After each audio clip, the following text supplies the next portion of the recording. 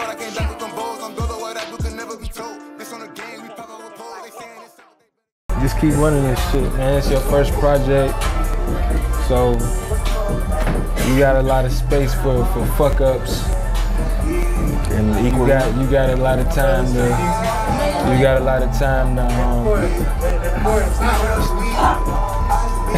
Bro, I done already told you this probably a thousand times, but that project is fucking heat. Cause I'm very proud of you. so I gotta ask, brother, what inspired the album? Um, life really, man. Just live. Like, I mean, most artists know. Like, sometimes you write, you get a writer's block. Mm-hmm. Um, uh, common cure for curing writer's block is just simply living. Like, if you one of those that write about what you go through, you just gotta live a little bit of life. And it was these last couple years been rough, and this is pretty much what it translated into. So.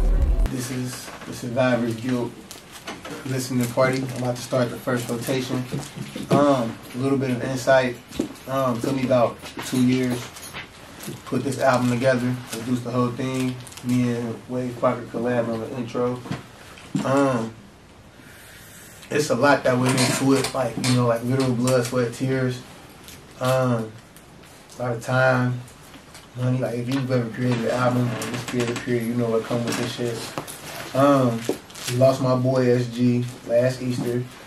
Um, he got out of prison around this time from a two-year bid, and then died on Easter. So like we didn't have him for Christmas, we didn't have him for New Year's, none of our birthdays, none of that shit. We didn't get to bury him, none of that. Like um, we can't get a hold of his music, none of that shit. Like you feel me? And I'm saying all this, like you feel me, just so like y'all can understand like the importance. Like it's like you gonna hear him out throughout like the album and shit. Like like as soon as the album start, like we, you know, like you'll hear him. But like outside of the songs that I just played, like those little snippets, like once I release this shit, like that's all we got for him. Like you know, like and the songs that y'all just heard, y'all probably won't probably won't hear until like God willing we make it. So we're like his family can actually benefit from this shit. Like you know what I'm saying? So but um because that's how we got, you know what I'm saying? But um we gonna take a little ride. It's um it's four phases to this.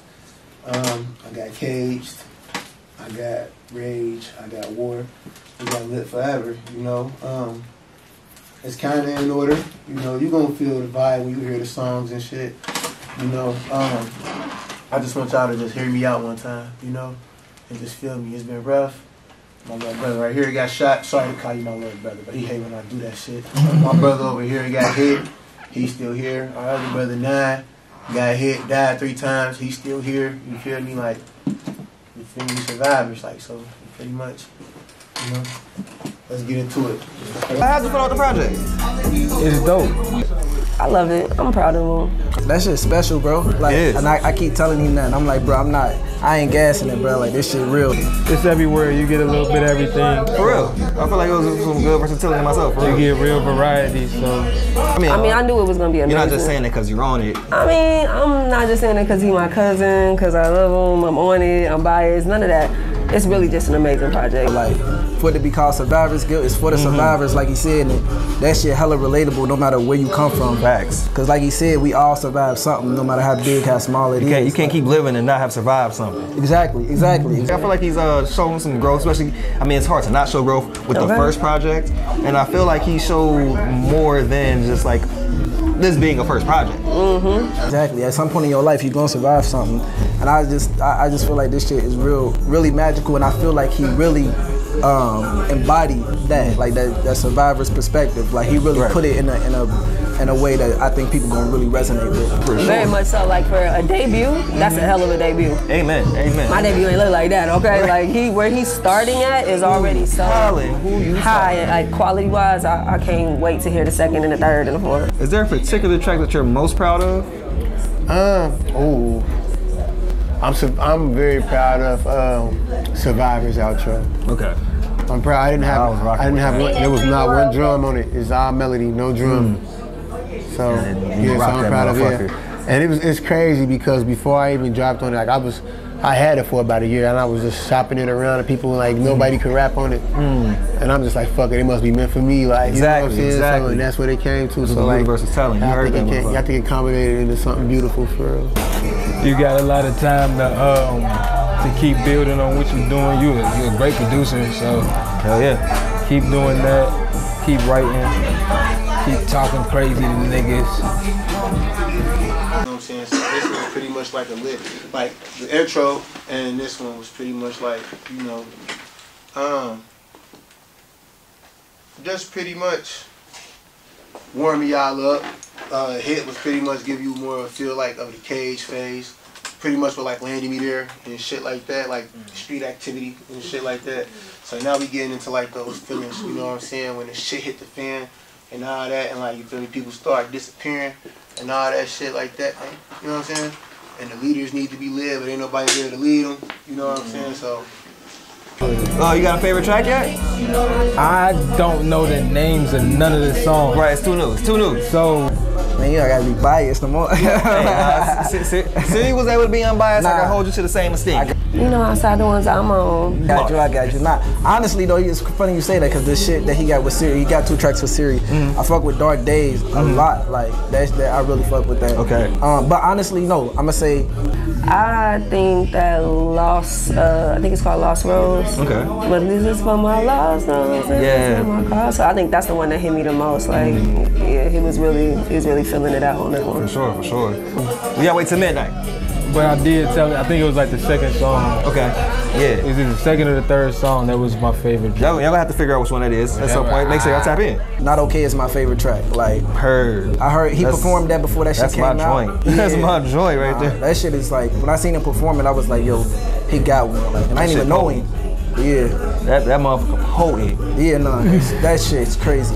I feel like that that's the perfect song to like uh, encapsulate the entire project. Like, you know what I mean? Yep. The signature. Mm, and that's probably like why it's right in the middle too. That's true. Yeah, you might have did it that way for real. What do you want your audience to take away from your project? um, that you can just keep going. Like, you know, like you go through shit, um, you go through shit and you could choose to either like crash out mm-hmm. or you could choose to like suck that shit up and keep going or just choose another outlet and to translate it into something else. Right. And that's pretty much what I did. And it took a lot of practice. I'm used to handling shit violently. Me and my niggas used to handling shit violently, so like it's new, but like doing this, like it's it's different, but it feel good though. Like I, it definitely, it definitely feel different after I drop like certain songs and shit. Hell yeah. So That's all I can really say for real. I've been, you know what I'm saying? I'm, tapped in. you know what I'm saying? You know, you, you know the mans. You know the mans. You know what I'm saying? But So you know it's only more to come. yeah, it's, it's you're doing everything. So keep doing everything. Keep getting greater. So like now I was kind of like so at this point in the album I'm kind of like um 'cause this is really like my um this is my debut album but this is also like my breakout like really as a producer I got like a few like hits and I, I'm, I'm calling them hits because you know manifestation all that good shit for sure. You feel me? and them bitches really slap. is You feel what me? it is. But I got a yeah I got a few slappers in the air but like this really like at this point in the album like. We got past all the pain part. We just shining on niggas now. So like I'm kind of like flexing that producer muscle, like throughout this the rest of this album and shit. So this next one, phase is this? this is um. Yeah, we getting into the live forever. Yeah, we, it's about live forever. Yeah, we about live forever for sure. But we got a couple dark tracks. We got like one more. It ain't even. I wouldn't even call it a dark track. Nah, we ain't live forever. I would say we in live forever for sure. For sure. So we in the brighter side of the album. What would you say would be a goal or a couple goals that you seek to achieve with this project? Um, I really just want to get myself out there as like a producer as well. Like as a prominent producer, I feel like I got my own sound. I feel like nobody sound like me, don't nobody think like me. Um, and I feel like I definitely like, not necessarily set a standard, but I feel like I'm definitely different. Like, yeah. and I don't sound like nobody. I can't, I ain't heard nobody I sound like yet. Um, but it's like so that's part of the thing that I wanted to bring with this album. I wanted to just like shit, like kind of like shed light on like that producer muscle. Yeah. And I also just wanted like people to show like I mean to show people just a little bit of versatility. Like so you notice like we had like hardcore like we had like trap shit on there. Right. We had some R and B on there. We had like some motivational music. Like we had like a little bit of everything. Like you know, like I just want to show like some versatility. I don't want all my stuff to like sound the same. I want to be able to like you play any type of beat, or, you know, make something like you know. Gotcha, gotcha. And I mean, I, I can, I can understand. Come on, man. You already, you already out there a little bit, I but you, mean, you just, you just now, like you said, it's for the producer. Yeah. So you you just showing Yeah, I mean, I got, I got, uh, best new. I got nominated for best new artist, which is pretty big because I really Yeah. didn't even drop any songs, like in like two years. that's I haven't huge. dropped any songs since like No Ice, and that's that. And that's just So, off like, work with other motherfuckers. I mean, yeah. So like, I wasn't really tripping. And shout out shows like shows winning shows. I think shows hit a shows doubled up. I think shows had a video, either video of the year and fucking uh best new artist or song of the year or some shit. But shout out to TV shows and pro label. But You like I like I said in the interview, like you really embody what it mean to be a survivor. Like niggas ain't he walking in now. Niggas know like for real, nah nah nah. Niggas know what it is to be a survivor. And niggas know that you really really lived that, like really came from that. So I feel like uh, you should be proud of yourself. You in your superstar moment for real, Brody. So just run this shit up. I think everybody in the family is proud of you. It's amazing because we know your growth for real outside of everything. essentially it's two more tracks and then I got a bonus track with uh my dog Fang and my brother that I also produced. We also got a song, me and bro got a song called Creep, and this is Creep too, but not right now, but at the end. But this next one is pretty much my mom speaking. Um, she pretty much telling y'all how she felt like the day I got locked up, how she feels today, right, you know. And then we gonna go into the uh, outro, and I'm just let it run. That's why I'm explaining both of them to you. The outro is called Survivor's Outro. Um, I designed it to pretty much be sort of like an anthem. I wanted it to be easy to remember, you know what I'm saying? And um, but I also want it to be like, you know, heartfelt because I really do, you know, we are survivors. We all done survive some type of something, you know what I'm saying? Mm-hmm. Something that's supposed to break us. Like we, you know, we beat that shit, you know, no matter how big or small it is. Like, so this is, you know, this last like, this last track, the Survivors outro, is for not just me, but for everybody, for my brothers, you know, like. Here and gone. So we're gonna run my mom, and then we're gonna this is gonna ride into the next one. So when you first got locked up, I, was in class. I remember I was in class and I was looking for you. And I talked to DJ and he said, Oh, TJ just got locked up, all jokingly. And I was like pissed off. I was like, What? And I was like, Why didn't nobody call me? And then I literally was like running around from I ran I went to District Four, I think that is over in Madisonville, on Madison Road or somewhere. Or Erie. I went there. And you weren't there. I went to Silverton, you weren't there. And then I went down to the Justice Center. And I was just pissed off because I, I just felt like I couldn't breathe or anything. I just felt like I don't know. I just my heart was like hurting. I just felt really bad. Finally found you, I just cried. I just cried, cried, cried. And during that time, I, I felt like I wouldn't have breakdowns, so I didn't really want to be around anybody at all because I would have breakdowns. And now that you are home, I'm I'm just overjoyed. Just every time I, I do different things where, that involve all my children, I just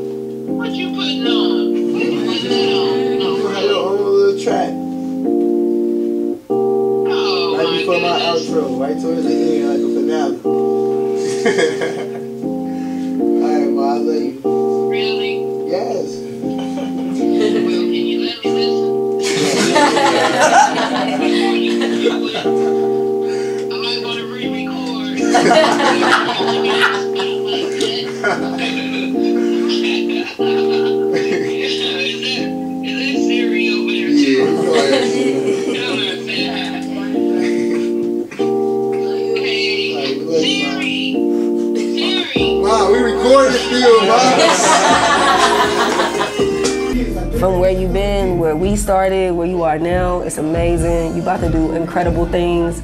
I believe in you. I love you. This is just the beginning. Now everybody else know what we've been through. And you just gotta keep going. Cause like they said, you are unstoppable. Love you. And there you have it, people. It's been Lord Ace with the Queen. Say your money tight, tight, Appreciate it. aye, aye, aye. Okay? Y'all catch y'all with the next one. Stay tuned. Thank you, Queen. Of course, of course, always.